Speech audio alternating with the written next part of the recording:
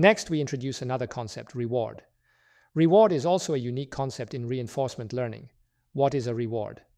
First, it is a real number, a scalar, that an agent receives after taking an action. This number has important meanings. If the reward is positive, it usually indicates encouragement for such behavior.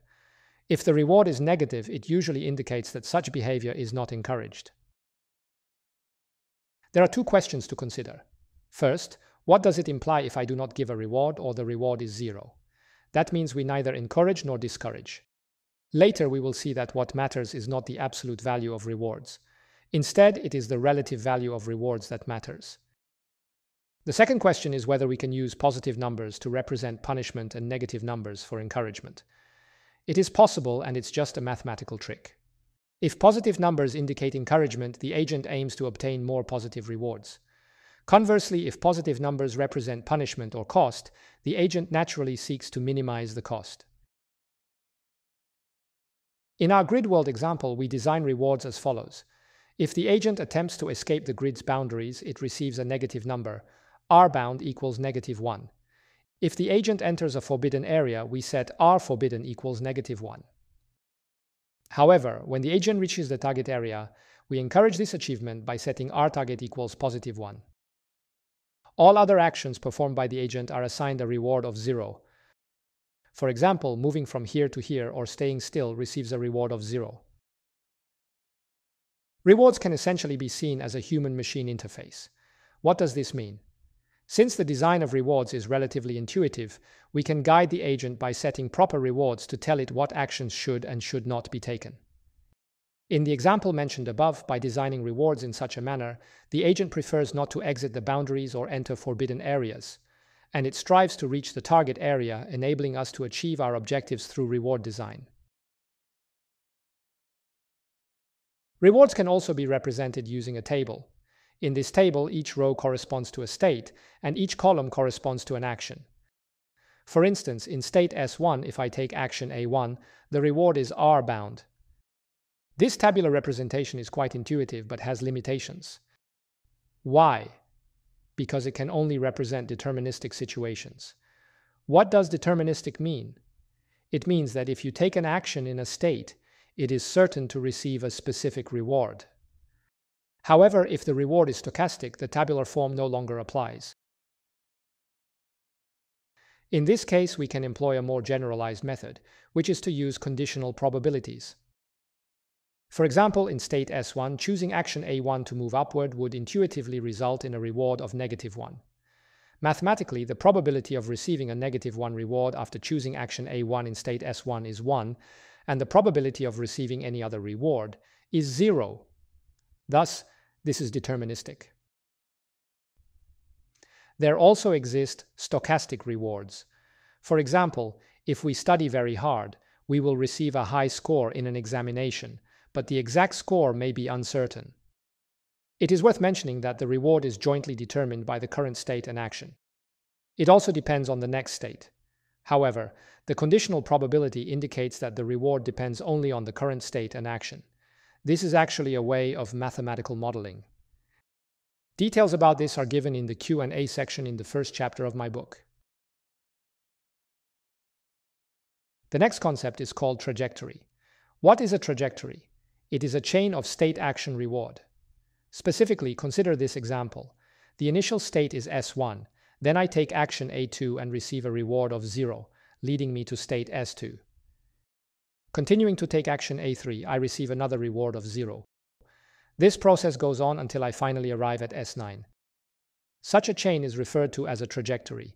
This includes three components, the states, the actions, and the rewards. Another extremely important concept is return. Return is related to trajectory. What is the return of a trajectory? It is the sum of all rewards obtained along that trajectory. For instance, in this case, the rewards are 0, 0, 0 until reaching the target, where it becomes 1. Summing these rewards, the total return is 1, which is the total sum of rewards along the trajectory. If I change the policy, starting from here and following such a policy, I move downwards, then downwards again, and then to the right, I will follow such a trajectory. Different policies will result in different trajectories. What would be the return corresponding to this trajectory? Here I receive 0, then negative 1, then 0, and finally positive 1, and then they sum up to 0. Next, let's pay attention to the role of return in reinforcement learning. Analyzing these two trajectories, this and this, which one is better or which policy is better? Intuitively, we know that the first policy is better because it avoids entering the forbidden area, unlike the second policy. In addition to intuition, we can examine the two policies from a mathematical perspective. Recall the return from the first trajectory is positive 1, whereas the return from the second is 0. Comparing returns, we find that the first policy yields more rewards, making it a better policy. Hence, the mathematics is consistent with the intuition. Mathematically, we describe this through the concept of return. In the next lecture, we will see how return can be used to evaluate whether a policy is good or bad. Another important concept is discounted return. It is still a return, but it is discounted. What exactly does this mean? Let's look at an example. Previously, we discussed a trajectory that leads to this target. The trajectory we obtained is as this. However, the policy may continue to operate even after reaching the target. Each time the target is reached, a reward of positive 1 is received. This process continues indefinitely, with the action A5 staying still being taken repeatedly at state S9. Therefore, this trajectory is infinitely long. If we sum up the rewards, the initial part remains zero, but after reaching the target, the continuous addition of positive 1 leads to infinity. Thus, the return along this infinitely long trajectory diverges. How can we solve this problem? We can introduce the discount rate, denoted by gamma. This is a number between 0 and 1. Combining the discount rate with the return yields the discounted return. The rewards remain the same, but now each reward is multiplied by a discount rate. For example, gamma, gamma squared, gamma cubed, gamma to the fourth power, gamma to the fifth power, and so on. Then we can calculate this. The initial part needs not to be considered, but later I bring out gamma cubed. What follows is 1 plus gamma plus gamma squared and so forth. This forms an infinite series. Those who have studied advanced calculus may know that when gamma is less than 1, the sum of this infinite series equals 1 over 1 minus gamma, Therefore, the final discounted return equals this value. What can we achieve by introducing a discount rate? First, whereas the sum diverged, it now becomes a finite value. Second, the discount rate can balance the far and near future rewards. What does this mean? If gamma is close to zero, due to the high exponent values, the terms gamma cubed, gamma to the fourth power, gamma to the fifth power decay rapidly. Thus, the discounted return mainly depends on the near future rewards. Conversely, if gamma is close to 1, far future rewards, decaying slowly, contribute more to the accumulated reward. By controlling gamma, we can influence the agent's policy.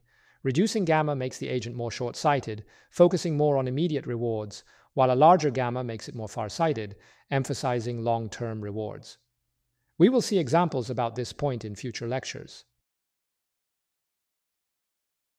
The next important concept is episode. An episode is accompanied by what is called a terminal state. We did not explicitly mention this earlier, but it was implicitly included. That is, when I start here and eventually follow this trajectory to here, then I stop. This is a trajectory we discussed earlier. This trajectory eventually comes to an end. Such a trajectory is also called an episode, or sometimes a trial.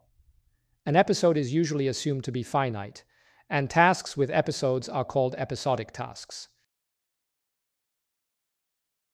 Some tasks may have no terminal states, meaning the interaction with the environment will never end. Such tasks are called continuing tasks. What kind of tasks are these? In the real world, it's difficult to find tasks that go on forever. However, for tasks that last a significantly long time, we approximate them as continuing tasks. In our grid world example, after reaching the target, should we stop there or should the policy continue to be executed, keeping it at S9 indefinitely?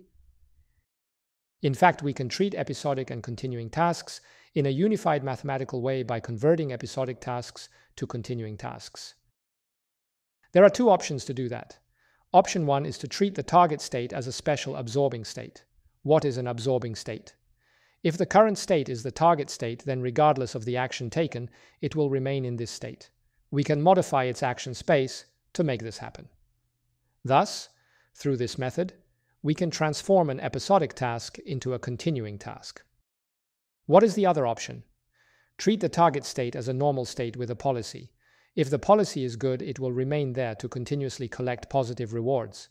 If the policy is not good, it might exit that state. In this course, we consider option 2, which is more general so that we do not need to distinguish the target state from others and can treat it as a normal state. Thus far, we have introduced some important concepts in reinforcement learning through examples.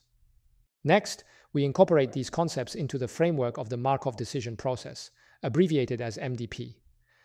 An MDP comprises several key elements. First, it contains some sets. The first set is the state space, the second set is the action space, the third set is the reward set. What is the second key element of MDP? Probability distribution. The first type is the state transition probability.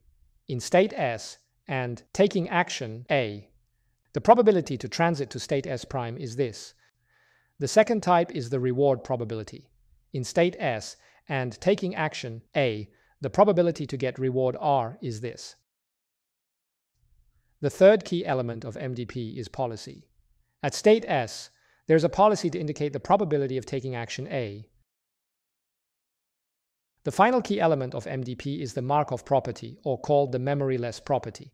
What does it mean? It is clearly demonstrated by the equation.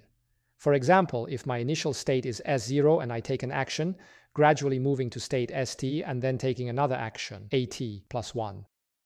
What is the probability of moving to the next state, ST plus 1?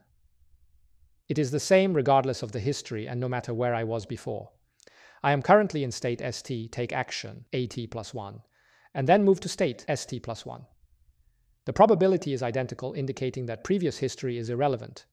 Similarly, the reward received for taking action in state st is also independent of prior history. This is the Markov property. All the concepts I have introduced in this lecture can be put in the framework of the Markov decision process. In the future, if someone asks you what a Markov decision process, MDP, is, I hope you can confidently explain. You can answer, a Markov decision process is a Markov decision process. While this may sound funny, what I want to say is that these three keywords succinctly describe the MDP. Markov corresponds to the Markov property. What does decision correspond to? It corresponds to the policy because making a decision requires a policy. Moreover, process refers to the transition from one state to another based on the actions taken. These aspects are defined by sets and probability distributions. So these three keywords effectively describe the Markov decision process. Back to our grid world example, such an example can be depicted with a diagram like this. Here, each circle represents a state, and the edges represent the transitions between states upon taking certain actions. For example, there's a 0.5 probability of moving right to here, and that means there's a 0.5 probability of moving from S1 to S2. This diagram illustrates a Markov process, but what we've been discussing is a Markov decision process. How are they related? Once the policy is given, and the policy integrates with the entire system, a Markov decision process becomes a Markov process. This concludes the entire content of this lecture. To briefly summarize, in this lecture we introduce several key concepts through the grid world example and the Markov decision process.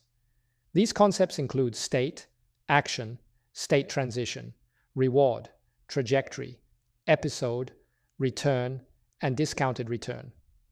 Additionally, we introduce the concept of the Markov decision process. That concludes all the content for this lecture. Next time, we will study the Bellman equation.